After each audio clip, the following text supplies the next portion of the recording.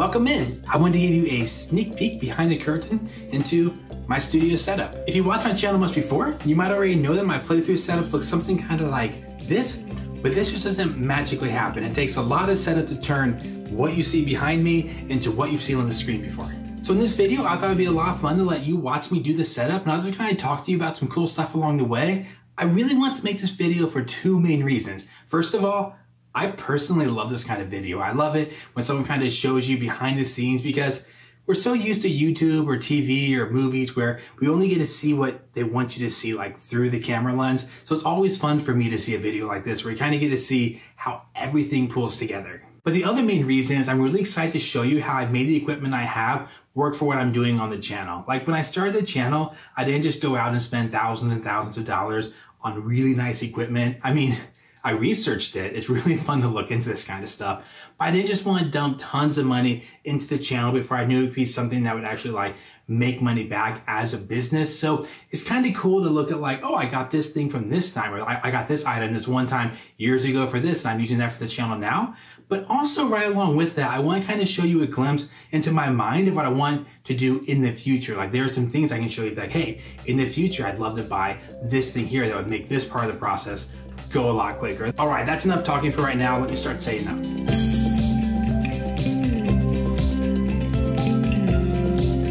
I'm really proud of these doors right here. I used to film the first like six months of the channel, which is filmed against this like color of the wall, the paint up there. And it's hard to tell on the camera because the camera can't handle that color of wall. If you look at my really old videos, the color is really wonky because it just confuses it. It's kind of like a weird peachy, I don't know, tan-ish sort of thing. It just really confuses the camera. So I remember mentioning to a friend one day, I was like, I would love to have like a wooden backdrop or white, something like in the background. So if you ever see like wooden panels or something really big that would work, like let me know. It's like the next day, she was like, I saw this on Facebook Marketplace. People are throwing away closet doors. These are just closet doors, like sliding doors, and they're kind of not quite the right thing on the back. If it was dark wood, I just would have left this dark wood and done this, but I don't know if you can tell on this, my phone camera, but they're like kind of like blonde wood. So I got them and I had some white paint in the garage and I painted them white and kind of let, you know, a little bit of the gray show through so there's some texture.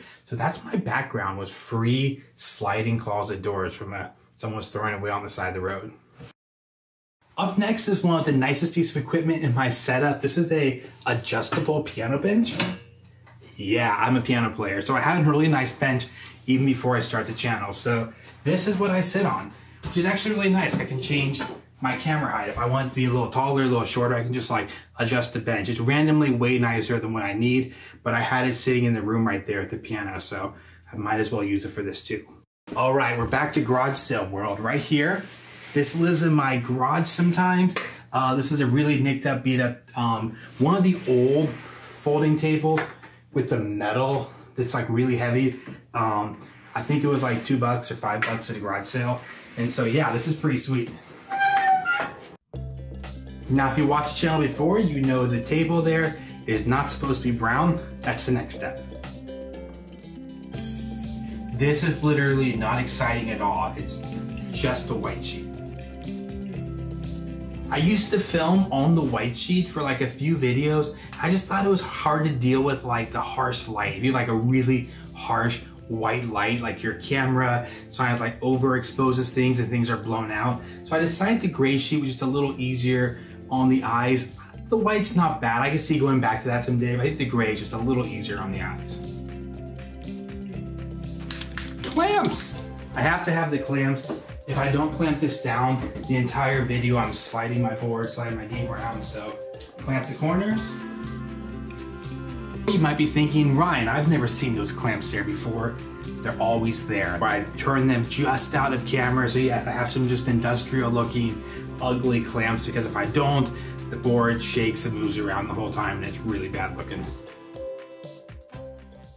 Okay, for the next part of the setup, I just turned you because I want you to experience this. The next part is fun, but it's a little ridiculous. So I have this lamp right here. I have three of these. They're kind of like legit looking lights.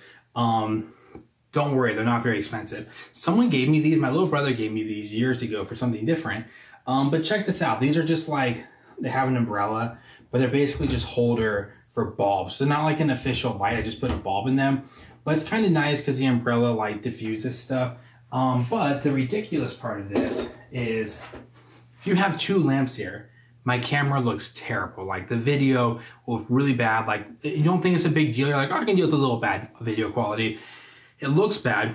Then like the board shot, like the shot of the board game, you can't see anything because the camera doesn't have enough light to like accurately show everything on the board. So the, all the shots just look terrible. So really two lights doesn't cut it. So we have stolen a third lamp deal, another lamp. Why not steal another lamp? Most of these lamps you probably find a trend here are dollar store purchases, not dollar store purchases, are garage sale purchases. So, or rummage sales if you're from other parts of the country. So I'm to take all these lamps, put them about at my head height and try to get six lights on this side of me and then two on the other. And it'll just make the whole video look better. This is something like peer into my future. I'm able to make money off this channel.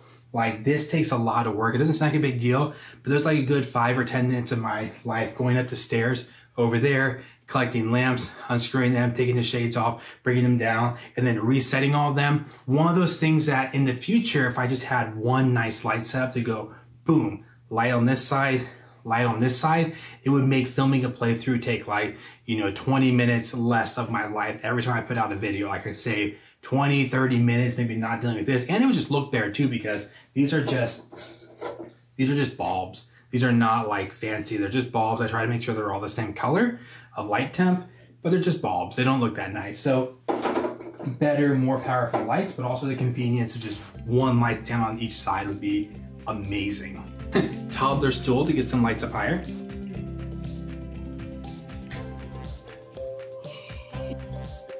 So normally you see something like this. You know, you can't see the lamps over there. I'm going to, once I get everything kind of set up over here in the place I want it to be, I'll pull those lamps as close as I can possibly get them. Sometimes even on the table itself to me, because again, like I'm dealing with inside, middle of the night kind of stuff, filming right now. So there's just not very much light. So if they're not like really close to me. They're not really close to the board. It just, you won't be able to like make out what's on the board. So that is an upgrade for the future. I would love, love to have some nice lighting. Okay. I'm gonna put lights on this side. This side's actually easier. I have the second of the three of these things here.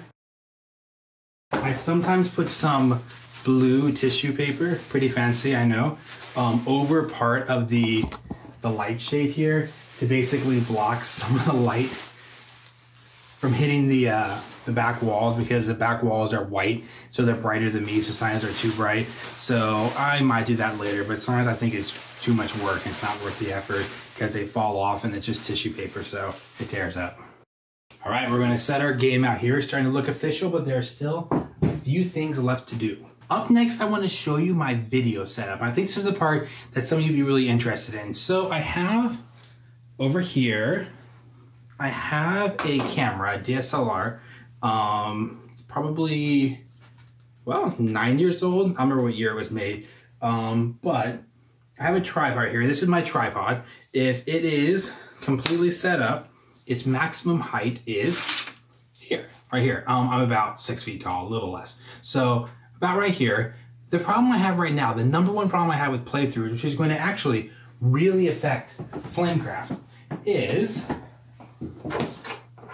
games like Flamecraft can be big. This is big. This isn't the worst, but also there's going to be cards that go all the way around the border of this. Um, it's not a board, mat, rollout mat.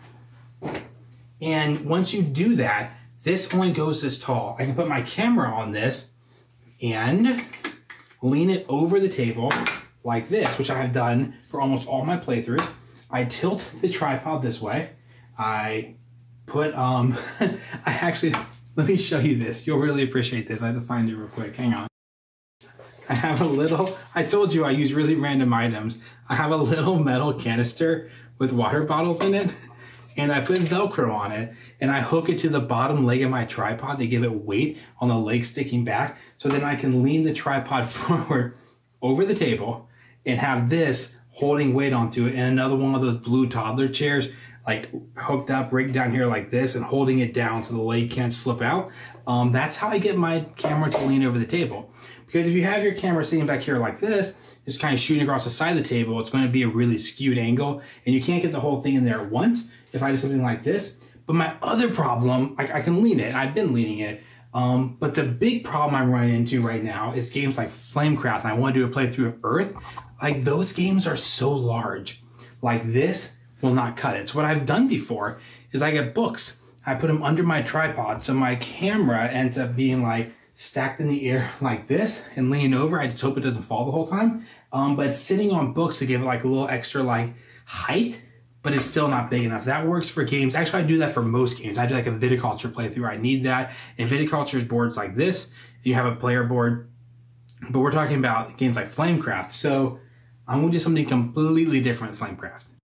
My thought is I'm going to use this camera here for my face shots. I'm going to leave this one over here. I'll get it set up later on when I'm like actually know where I'm going to sit. But I'm going to leave this camera over here and this will be on my face. Um, what the phone is on right now is actually a guitar mic stand, like, you know, one of those guitar singing, I'll put a picture up here maybe, but one of those singing mics that you like, you know, can move up and down, the guitarist can strum, and there's a, a arm that comes out. It's actually hooked up to one of those right now with a little attachment thing, I think made for a bike that's screwed on there. It's actually what's holding the phone right now, so I can't show you because it's literally being held by that. I'm going to attempt to use that and lean it over the board and see if I can get about this high in the air and see if that's enough to capture the game. Now the phone, the reason that might work more than this is first of all, this can't be on the boom arm thing. It's way too heavy. But also the phone um, is a much wider angled lens. So it doesn't have to be quite as tall to see more space. And while we're on the topic, this leads to one of the other really big upgrades I just like envision for the future. Once a channel is making money and I feel comfortable kind of making a bigger purchase, there are two things. They, I don't necessarily need both, but they would both be nice. But either a good tripod that gets a lot taller than this, ideally one that actually has a boom arm, you know, a boom arm that goes up and hangs over like this. That would be ideal. There's ones that can go like seven, eight feet, so it'd be you know, close to the ceiling up there. I could just put the camera up there, be really secure, and it actually knows weight it in the back so it balances out. That, or at the very least, um, a wider angled lens. This is a 28 millimeter lens. There's like, you know, 20s, there's 24s. That would really help too, because that would allow me to not get as tall and then get more of an angle. So that's kind of one of those purchases that down the road would also, again, just really simplify my life instead of like getting the tripod out and trying to put books and get the right sizes of books to get to the right height. And then it keeps building up higher and higher and higher. And the camera's never fallen yet, but I have this fear that someday it's not going to hold. Don't, don't don't tell anyone. But yeah, that's one of my fears. But I would so I'd love to have a good tripod or that, or kind of along the same line as there are some really nice webcams now that are kind of like camera lenses. And if those were high enough quality, I need to test them out a little bit. But that was high enough quality, that could be another thing maybe to think about. Like I put one of those on a mic stand up in the air. That'd be kind of cool. So that's another big thing in the future that would really simplify my life. Like all the setup I go through trying to get this and you'll see in a second, trying to get the right camera angle, something up in the air. Now, one of the newer and most exciting kind of things to talk about, and this is actually something that just recently got upgrades. This is like good news already, is audio. Audio is with lots of the talking style videos, not always the playthroughs, but with the talking, like the top 10 videos, like reviews, audio is as important or more important than video, right? If you can't hear what I'm saying, if it's not clear, if it's annoying to listen to, it's really tough to listen to it. Um, I'm a musician, so I own this. Maybe five or 10 years ago, I bought this. This is a Zoom recorder.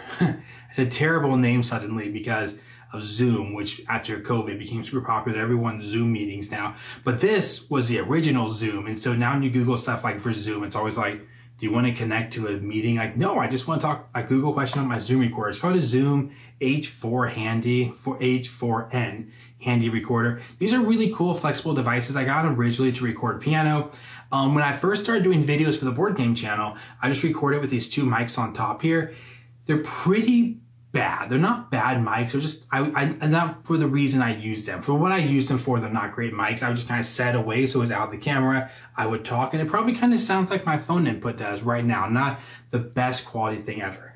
Um, over time, eventually, I picked up a little lav mic that I hook onto my shirt. And this actually hooks up to the Zoom as well. So that's why the Zoom is, if you happen to want to do the same thing I'm doing right now, like do a channel, uh, these are really flexible devices. It can also hook up to a lav mic. So I did that for a while. that's been pretty good. And I will still use the lav mic for lots of situations. Um, the issue with the lav is it is what's called a condenser microphone. So it picks up kind of like your phone does the whole room.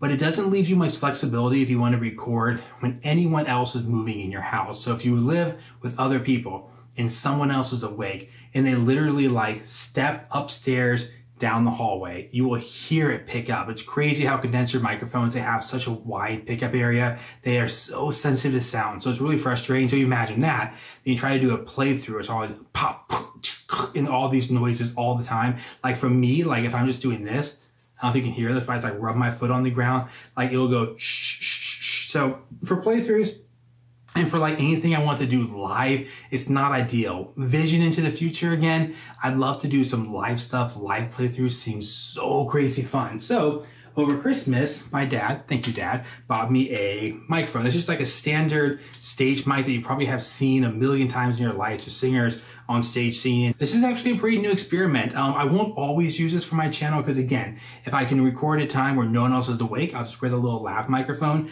But this will allow me to do some live stuff because I can talk into it. Uh, I will show you later by talking to it. And then if I talk into it over here, it'll sound like that because it doesn't pick up like anything. People can be around the house. Live stuff is good. And I think for playthroughs, my thought is it's going to be really nice for a playthrough. So I'll be able to talk into it like this and you won't necessarily hear like all the crunching and scratching. If I like kick the table, I don't have to go through and like in the end of this whole process, I have to edit stuff in the computer and edit out all these pops and everything. It's just very time consuming. So this is kind of an exciting new piece of equipment that I'm learning to get used to and using. So I will be doing this today.